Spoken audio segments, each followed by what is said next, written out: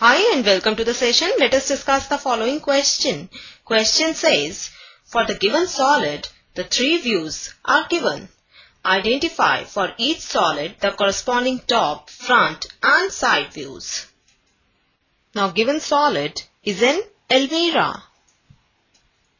Now if we see this almirah from the top, then we are able to see this rectangle only.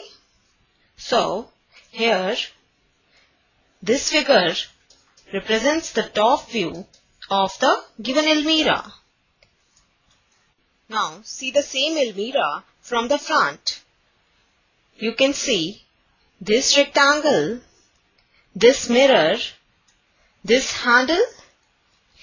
So this figure represents the front view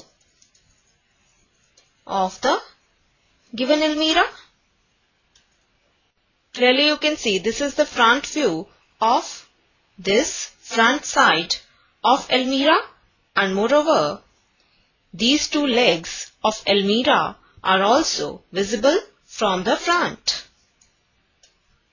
Now if you see this almirah from the side then you are able to see this rectangle and side view of the leg of the almirah.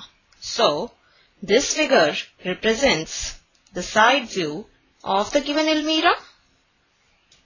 Clearly you can see this rectangle represents the side view of this rectangle and here this portion shows the side view of the leg of the almirah. Now finally we get first part represents the front view of the given solid Second part represents the side view of the given solid and third part represents the top view of the given solid. So this is our required answer. This completes the session. Hope you understood the solution. Take care and bye for now.